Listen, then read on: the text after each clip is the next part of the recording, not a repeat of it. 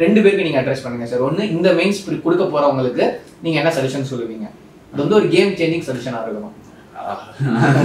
நம்ம சொல்லுவோம் இன்னும் எத்தனை நாள் இருக்கு அப்படின்றத ஃபர்ஸ்ட் பார்த்தேன் நான்.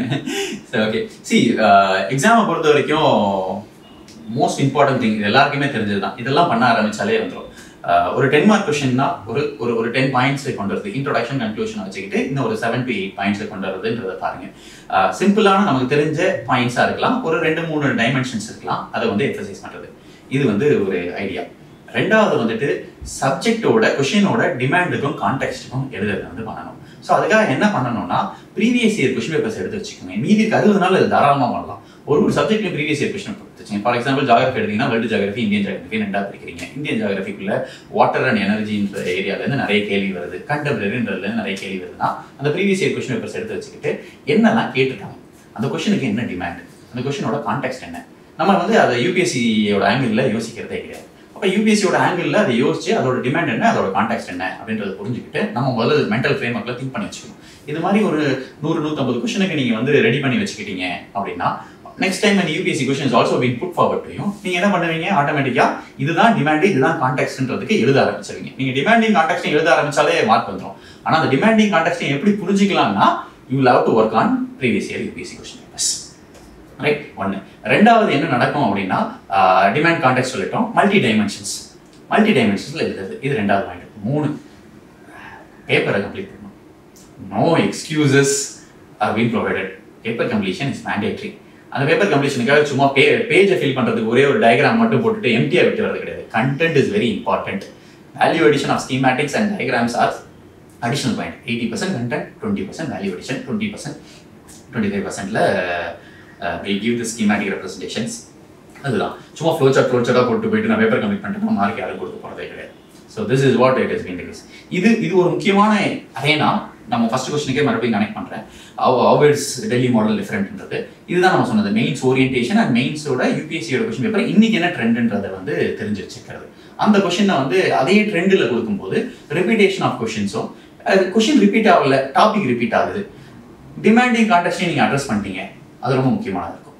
இன்னொன்று எவாலுவேஷன் நான் ஒன்று மிஸ் பண்ணிட்டேன் அதனால இப்போ எம்ஃபசைஸ் பண்ணணும்னு ட்ரை பண்ணுறேன் அந்த மெயின்ஸ் டெல்லி மாடல் வாஜிராமில் என்ன பார்த்தீங்க அப்படின்னா evaluation will be at the top உங்களுக்கு அந்த ஃபீட்பேக் கொடுக்கறது வந்து சும்மா டிக்கு மட்டும் போட்டுட்டு ரீட் மோர் அப்படின்னு கொடுக்கறது கிடையாது. உங்களோட இன்ட்ரோடக்ஷன் இருந்துச்சுன்னா அந்த இன்ட்ரோடக்ஷன்ல என்ன இல்லை என்ன இருக்கணும்ன்றதை எம்ஃபசைஸ் பண்ணி இதெல்லாம் இருந்துச்சுன்னா கரெக்டாக இருக்கும். மைக்ரோஸ்கோபிக் லெவல்ல வெரி மைக்ரோஸ்கோபிக் மேக்ரோ கமெண்ட் எல்லாம் வெரி மைக்ரோஸ்கோபிக் நீங்க எவ்வளவு ப்ளூல எழுதுறீங்களோ அதே ரெட் அங்க இருக்கும்னு வச்சுக்கோங்களேன் இல்ல கிரீன் அங்க இருக்கணும். ஸோ அப்பதான் வந்து நான் கத்துக்க முடியும்.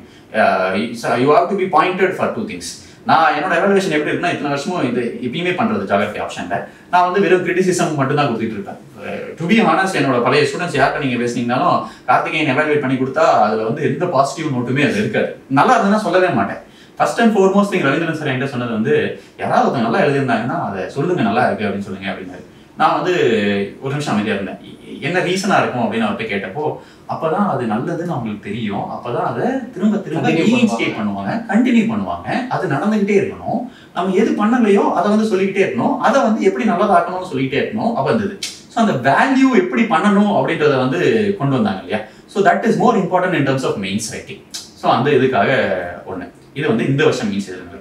To add on to one more point what is also being put across is இந்த வருஷம் as part of அஜிராமன் Ravi over rights mains from Tamil Nadu for all those people அஜிராமன் Ravi is extending one full length four test as a ஃப்ரீயாக வந்து கொடுக்குறாங்க so that you will be able to understand what is Vajiraman Ravi's means model, what is evaluation, what is inputs so that it's more of like நம்மளால என்ன பண்ண முடியும் அப்படின்றது தான் so all one has to do is common register same that I have clear with respect to UPS examination நான் வந்து test எழுதுறேன். அந்த டெஸ்ட் வந்து சென்டரில் வந்து எழுதணும். அவ்வளோதான் பேப்பர் எவாலுவேட் பண்ணிட்டு will be having mentors faculty எல்லாம் அங்கே இருப்பாங்க. எவாலுவேட் பண்ணி எவாலுவேட் பண்ண பேப்பர் உங்ககிட்ட கொடுத்துட்டு உங்ககிட்ட வந்து uh, uh, என்ன மைக்ரோஸ்கோபிக் கமெண்ட்ஸ் கொடுத்துருவாங்க.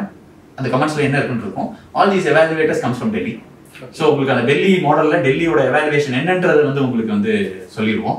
டெல்லியில் மற்ற பேப்பர்லாம் எப்படி எவாலுவேட் ஆயிருக்கு? அவங்கெல்லாம் எப்படி எழுதியிருக்காங்க? நீங்கள் எப்படி எழுதிருக்கீங்கன்றதையும் வந்து உங்களுக்கு கொடுத்துருவோம்.